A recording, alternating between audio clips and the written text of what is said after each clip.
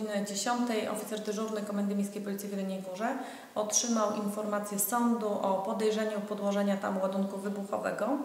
W związku z powyższym na miejsce skierowano grupę pirotechniczną, jak również e, psa do wyszukiwania ładunków wybuchowych.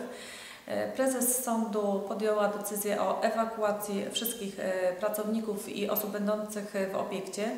Ewakuowano około 150 osób. W tej chwili e, policjanci przeszukują pomieszczenia sądu, jak również został do tej pory przeszukany dziedziniec i okolice. Do tej pory nie znaleziono żadnego ładunku wybuchowego. Równocześnie prowadzone są czynności operacyjno-śledcze, których celem jest ustalenie i zatrzymanie osoby podejrzanej o ten czyn. Pojawiła się informacja o tym, że jest podłożony jakiś ładunek wybuchowy. W związku z tym zarządzono ewakuację całego budynku sądu, czyli wszystkie osoby, które w budynku się znajdowały, musiały budynek opuścić w jak najszybszym czasie.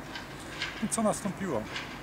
Y, Czy to miało związek jakiś e, z jakąś sprawą, czy, czy orientuje się Pan, dlaczego y, taki sygnał został rozgłoszony o opuszczeniu?